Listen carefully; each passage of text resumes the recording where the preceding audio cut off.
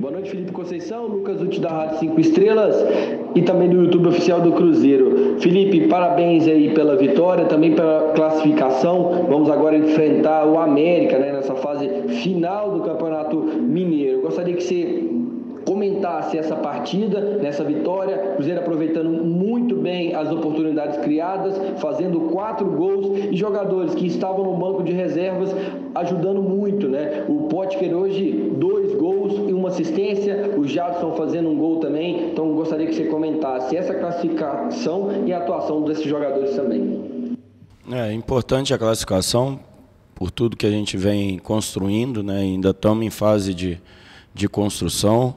Acho que já desde a segunda fase, que eu chamo de segunda fase, que foi o último bloco de jogos, de seis jogos em 18 dias, é, nós demonstramos um padrão de jogo e, e, lógico, dentro desse padrão a gente espera é, crescer.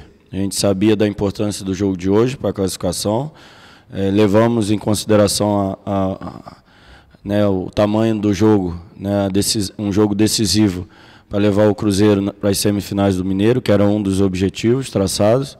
Conseguimos, acho que fizemos um bom jogo e, além disso, demonstramos, como você disse, a força do elenco. É, a gente trabalha diariamente respeitando todos os atletas, tentando todos os dias trabalhar de maneira igual, que todos tenham o mesmo conteúdo.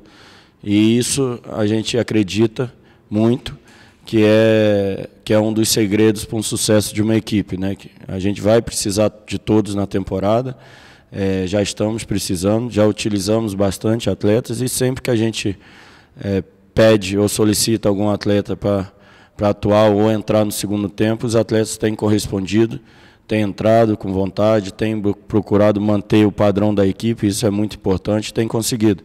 A gente fica feliz é, porque a gente sempre bateu nessa tecla que todos são importantes e que o trabalho diário valoriza isso, né? A atenção a todos, é, os treinamentos voltados para todo mundo, para o crescimento de todos, isso me deixa muito satisfeito. Boa noite, Felipe. Adroaldo Leal, Rádio 98 FM. Felipe, na sexta-feira você concedeu entrevista ao Arena 98 e você se emocionou em um momento da entrevista quando você disse a respeito de um treinamento que você viu muita entrega por parte dos seus jogadores, né, por parte do elenco, os jogadores do Cruzeiro que pelo visto confiam muito em você, confiam no seu trabalho. E a gente tem visto isso em campo. A gente está vendo um Cruzeiro com um posicionamento definido, com um esquema de jogo definido. Queria que você falasse a respeito disso, dessa sinergia de você com seus atletas e também que você comentasse a respeito, por exemplo, do Estênio, que é jovem, é um menino ainda, mas quando entra, ele entra com muita confiança, ele entra bem dentro do seu esquema de jogo. Queria que você falasse a respeito desses assuntos.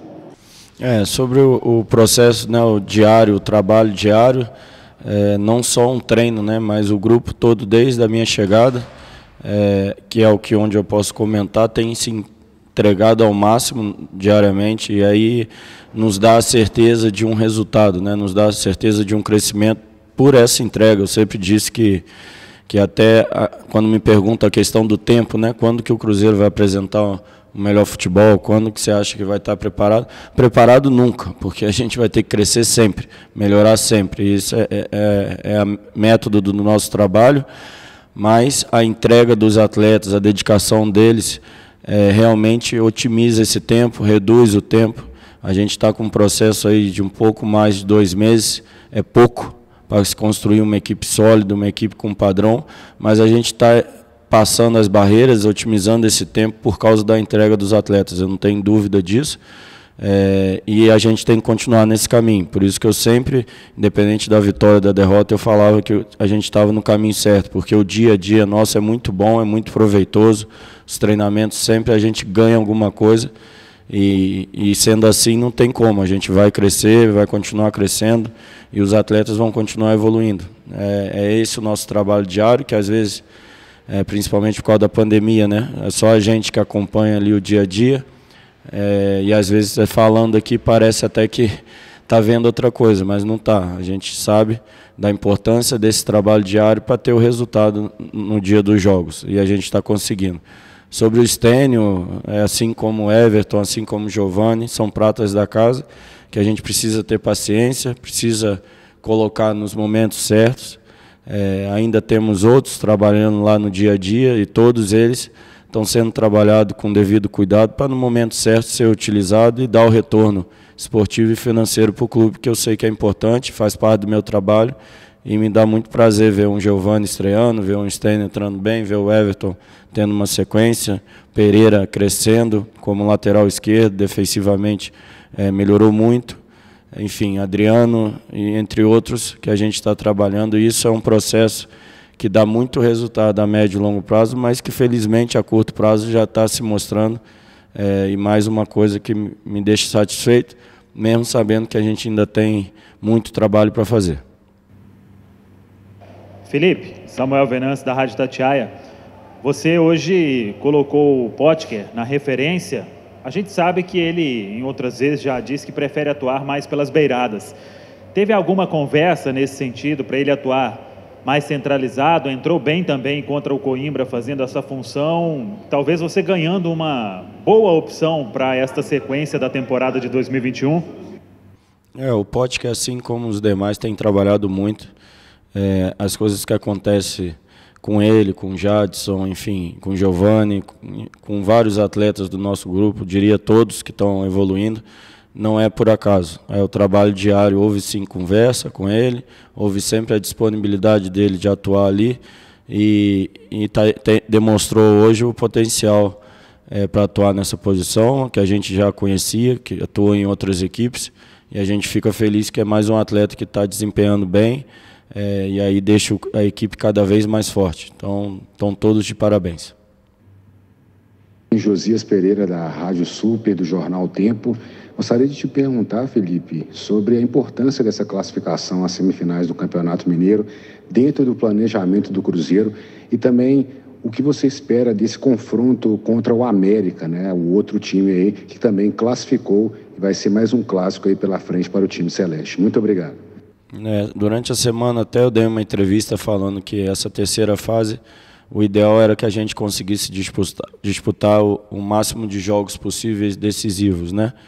É, a gente teria o de hoje, tem agora dois jogos da semifinal que são muito importantes para a nossa evolução. Lembrando sempre que o, o, objetivo principal é o acesso, é a Série B. Então nós conquistamos a, a né, conquistamos com méritos dentro de campo poder realizar esses dois jogos da semifinal e vamos buscar passar nas, na semifinal para ter o direito de jogar mais dois jogos né, na final e buscando um título, enfim. É, o mais importante que é a Série B, o que, que isso ajuda? São jogos decisivos, são jogos que nós, que nós temos que puxar a responsabilidade para a gente, buscar a vitória num clima mais tenso. Isso vai trazer evolução para a nossa equipe. Trouxe hoje, nós entramos assim hoje, com a vontade de, de impor o nosso jogo, de jogar dentro do que a gente treina né, e, e jogar um jogo decisivo. Isso é muito importante para esse nosso momento de evolução. É, esse é o principal planejamento, que a gente cresça o suficiente até a Série B. Se vier com título, melhor ainda, mas o nosso pensamento é etapa por etapa. Agora vamos pensar na semifinal. São dois jogos importantes para essa evolução e que, se for do nosso merecimento, que a gente passe para ter mais dois jogos e, e assim sendo, lutar pelo título. Arthur Moraes, Rádio Super. Felipe Conceição, jogo que garante a classificação do Cruzeiro e também consagra William Potker, que foi a sua opção, a sua escolha para a vaga de Sobs. Agora o América nas semifinais. É um adversário que você classificaria de que forma? Também favorito, como aconteceu antes do clássico com o Atlético, e o Cruzeiro mostrou que o negócio se decide é lá dentro de campo? É, a questão do favoritismo é muito da imprensa, né, da, da torcida, enfim, é do externo. Né? Acho que o futebol realmente se resolve dentro de campo. É lógico que o América tem um processo de longo prazo, médio e longo prazo ali. Então isso dá uma solidez, dá uma consistência. É uma equipe que ano passado é, já chegou nas finais, o Cruzeiro não. Então nós estamos crescendo ainda, mas como você disse, futebol se resolve dentro de campo. A gente vai buscar passar por essa fase e chegar à final do campeonato. Felipe, Sulimar da Rádio Inconfidência e da Rede Minas de Televisão. Qual foi o papel importante dessa garotada do Cruzeiro? Hoje o Cruzeiro terminou com cinco atletas e também da semana de trabalho que você teve para fazer esse time ter mais jogadas, algumas que a gente vê que é fruto do treinamento. Qual foi o fator importante dessa semana e também da presença dessa garotada, os cinco que terminaram o jogo? É, não só dessa semana, né? Em uma semana você não produz tudo, né? Mas todo dia, toda semana que a gente tem aberta para treinar, a gente procura colocar é, mais coisas, procura crescer. Ainda precisamos crescer muito, ainda temos uma margem de crescimento muito grande, falta muita coisa ainda, não estamos prontos, longe disso. Estamos iniciando uma temporada, estamos construindo uma maneira de jogar. Os atletas têm se entregado ao máximo e por isso estamos tendo resultados a curto prazo. Mas ainda precisa de um caminho longo para tudo que a gente deseja no ano. Enfim, é continuar trabalhando. É importante essa situação dos meninos da base também. Não estão porque são da base, estão porque estão merecendo no dia a dia, estão trabalhando, cada um no seu tempo será utilizado. É tudo depende do dia a dia e do processo. Com merecimento, qualquer um do, dos atletas da base poderão estar aqui. A gente tem demonstrado isso. É, a gente não tem medo de colocar, pelo contrário, se o atleta estiver desenvolvendo um bom papel no nosso dia a dia, ele vai ser oportunizado. Se a gente vê que vai ajudar a equipe e ajudar o clube também, claro, a gente vai, vai fazer. Né? Já demonstramos isso. Então é continuar o trabalho, é, temos muita coisa para fazer ainda no Cruzeiro para melhorar esse clube e para tornar ele gigante de novo, porque ele merece é, e levar ele para onde ele merece, que é a Série A. Felipe, boa noite. Adilson Martins, Rádio Ita de Itapecerica. Gostaria que você fizesse uma análise dessa primeira fase do Campeonato Mineiro, em que o Cruzeiro chega na terceira colocação, tem o América aí pela frente na fase semifinal. Quais são os pontos positivos e quais são os pontos negativos que você vê em toda essa primeira fase? Não só do Cruzeiro, mas de toda a competição. É, positivo da gente é que a gente praticamente fez a pré-temporada dentro do início do campeonato, né? E, e cheio de dificuldades, num, num pouco período período para treinamento, a gente conseguiu enfrentar aquele primeiro período é, com muita coragem, com muito sacrifício e passamos ali é, ileso da primeira fase da Copa Brasil, passamos ali com uma pontuação razoável dentro do campeonato. Já no segundo bloco a gente teve mais um crescimento, conseguiu demonstrar um padrão maior do jogo, pontuamos mais ainda, ainda passamos da segunda fase da Copa do Brasil. Acho que a análise dentro da competição é o nosso crescimento, é o nosso trabalho, nosso sacrifício de ter que construir isso com o carro andando e estamos conseguindo, graças a Deus e ao empenho dos atletas é, dentro de campo e, e no dia a dia nos treinamentos também, nos jogos e nos treinamentos. Enfim, e sobre o campeonato, eu acho que o Campeonato Mineiro evoluiu. Né? Eu disputei, participei é, em 2019 e 2020, 2019 como auxiliar no América e 2020 a primeira rodada como treinador, mas acompanhei é, todo o campeonato mesmo de longe e acho que vem evoluindo. É, o que eu pedi na última partida, e volto a repetir, é que se a gente cuidar mais da, das estruturas do, dos campos, né, dos estádios, o futebol mineiro tende a crescer ainda mais porque tem bons profissionais. É, a gente torce até que todos consigam emprego né, para o resto do ano. Muitas equipes é, ficam paradas, né, sem calendário. A gente torce aí que vários desses atletas que, que hoje não estão classificados consigam se empregar em outros estados ou em outras competições para que continuem tendo o seu, seu rendimento, que é a grande maioria do, do nosso país está nessa classe, né? de atletas e de profissionais. Então, que a gente também é, tenha um olhar para esse lado e, e, possa ajudar de alguma maneira as federações, a CBF, enfim.